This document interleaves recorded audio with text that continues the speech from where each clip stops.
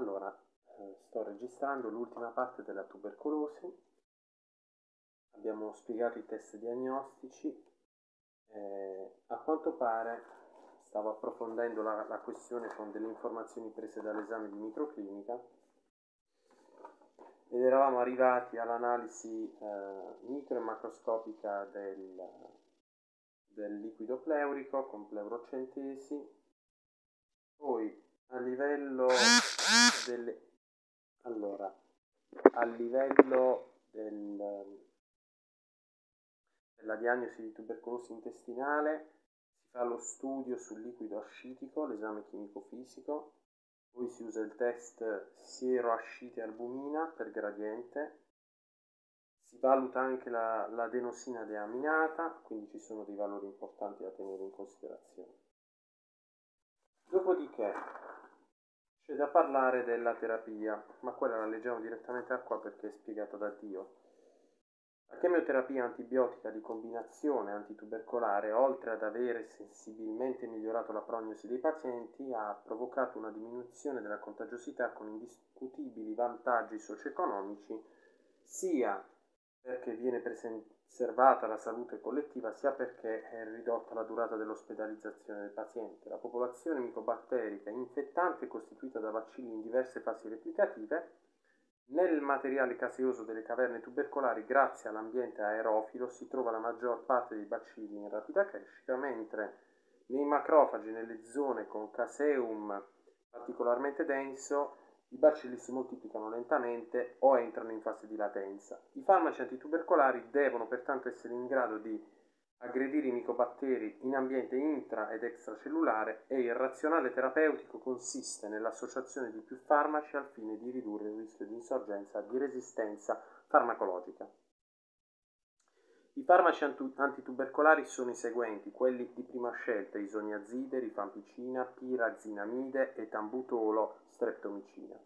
Gli antitubercolari di seconda scelta, amicacina, canamicina, capreomicina, rifabutina, ciprofloxacina, levofloxacina, moxifloxacina, gatifloxacina, macrolidi, azitromicina, claritromicina, claritromicina linezolid, amoxicillina, acido clavulanico, etionamide, cicloserina, PAS, acido para-ammino salicilico e bequalina.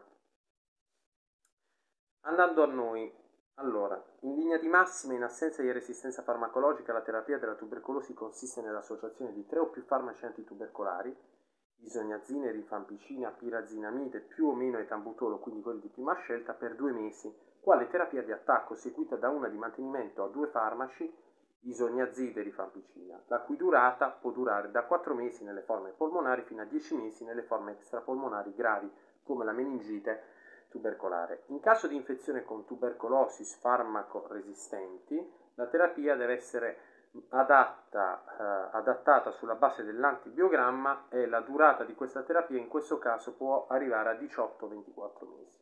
In caso di tubercolosi in gravidanza bisogna eh, evitare la streptomicina per la neurotossicità fetale, la pirazinamide, diciamo, eh, ha dei dati di sicurezza in gravidanza insufficienti, e quindi bisogna stare attenti a questi due farmaci, streptomicina pirazinamide, e la durata della terapia deve essere almeno di 9 mesi. In soggetti invece HIV positivi con deficit immunitario e affetti da tubercolosi, la durata del, tratt- del trattamento può essere superiore a quello degli immunocompetenti. Inoltre, in caso di contemporanea assunzione di terapia antiretrovirale comprendente inibitori delle proteasi, considerata l'interazione di questi farmaci con la rifampicina, in, questa, in questo caso la rifampicina deve essere sostituita con rifabutina. I farmaci antinfiammatori eh, steroidei sono indicati nelle fasi iniziali delle, delle, forme tubercolari con rilevanza essudativa, in quanto riducono gli esiti cicatriziali. Il trattamento in regime ospedaliero è indicato in caso di malattia estesa tubercolare o meningite, compromissione generale, immunocompromissione, spettorato positivo, presenza o sospetto di resistenza a farmaci antitubercolari. In caso di forme di resistenza o scarsa compliance terapeutica del paziente, bisogna fare il Directly Observed Therapy DOT, quindi un regime di terapia sotto osservazione diretta. In molti paesi la DOT è fondamentale proprio nella fase di attacco. All'inizio del trattamento è opportuno controllare emocrono, emocroma, azotemia, transaminasi, uricemia. I controlli ematochimici periodici sono importanti per il giudizio da parte di un centro specialistico di riferimento, ma in linea generale è opportuno sempre misurare uricemia e transaminasi ogni due mesi. Parlando della prevenzione, la chemioprofilassi antitubercolare ha l'obiettivo di prevenire la progressione della patologia in soggetti che presentano un viraggio dell'introdermoreazione da negativo a positivo o in, oppure un'intradermoreazione a test di Mantoux positiva.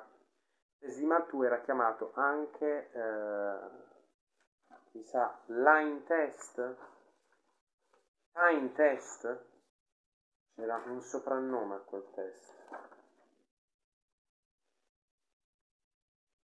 Time test, sì. Va bene.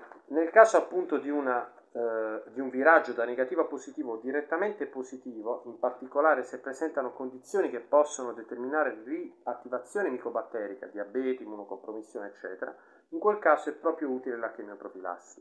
Prima di iniziarla è indispensabile eseguire un esame clinico approfondito, esami necessari per escludere appunto la presenza di forme attive di tubercolosi.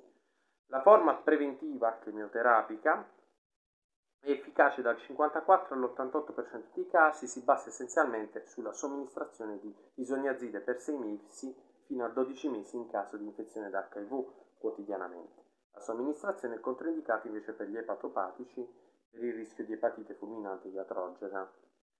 La vaccinazione antitubercolare con il bacillo di Calmette Guerin deriva dal ceppo del Mycobacterium bovis privato di virulenza eh, questo vaccino viene eseguito alla nascita in molti paesi in via di sviluppo endemici di tubercolosi, mentre negli industrializzati solo per specifiche categorie di persone esposte al rischio.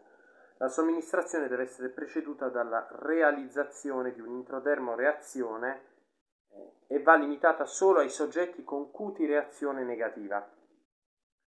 La vaccinazione non protegge completamente, ma riduce significativamente la diffusione del processo tubercolare. E quindi con questo finisce il capitolo delle affezioni dell'apparato respiratorio. Le prossime video lezioni saranno sulle affezioni dell'apparato digerente. E infatti qua si comincia con un inquadramento eh, generale sulla diarrea, sulla durata della diarrea che è divisa in acuta, persistente e cronica, ma questa la rivedremo passo passo nelle varie affezioni alimentari e gastrointestinali. Ci vediamo per la prossima video lezione.